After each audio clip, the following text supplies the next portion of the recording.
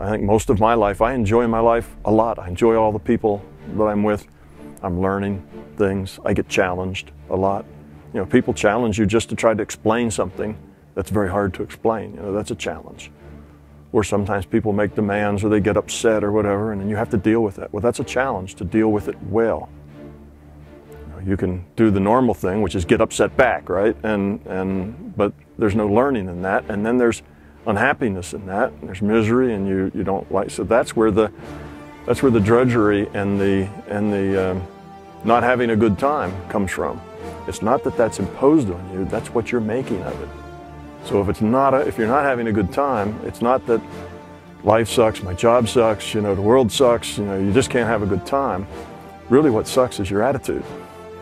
Really what sucks is your reality, how you define it.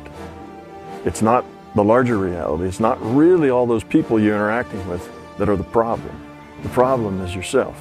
You need to outgrow the ego